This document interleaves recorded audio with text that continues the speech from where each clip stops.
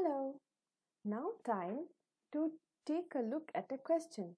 You may pause the video and try to figure out what are the instructions given in this. Okay. Now I will show you the answer after you have understood the question. Then you will uh, come to the answer. Okay. The question uh, gives a hint towards uh, here how the work is being shown. Now look into the work.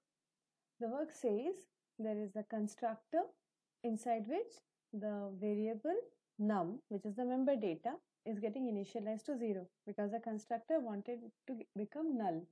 Then there is accept, which is taking input. Then there is summation. Now this summation was uh, supposed to uh, send the return back.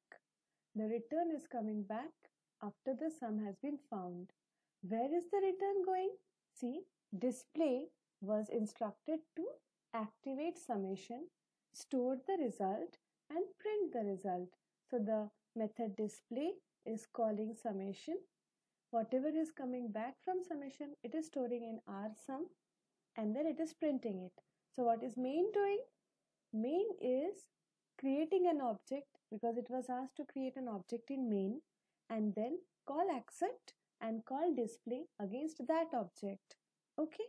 So now when I will compile this and when I will run this, I hope you will be able to figure out which part is doing what. See, the object creation is activated, the statement from the constructor. But this one we are not going to use. We are going to use the main and inside main one more object is getting created that I told object inside object now here if I enter 125, oh, uh, I enter 125, see what happens?